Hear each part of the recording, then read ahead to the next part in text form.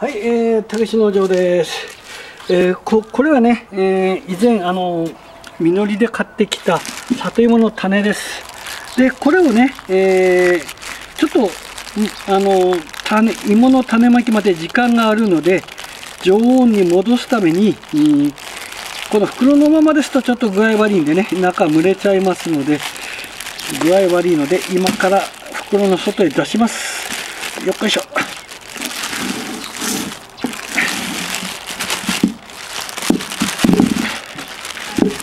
はいこんな感じですね。よいしょ。で実はあの里芋はあの去年の残りもね、えー、何個かあるんでこれ今2、4、6や10、12個。うんと 800g だったかな。800g で12個あるんですが、えー、もうもうちょっとあるんでね、えー、これもおいおいあの掘り起こして種芋にしたいと思います。でこれをね常温に、戻すためにこのねネットに一度入れて冷蔵庫で、えー、保管します。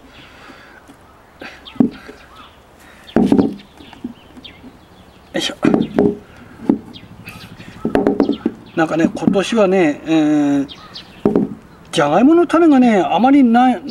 ないみたいだよね、えー、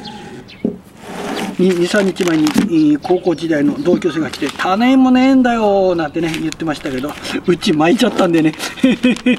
もうちょっと早くね声かけてくれれば種も少しあげられたんですけどね、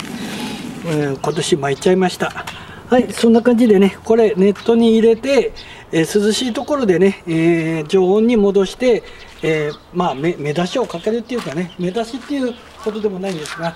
えちょっとね1週間ぐらい、うん、放置したいと思います。以上です。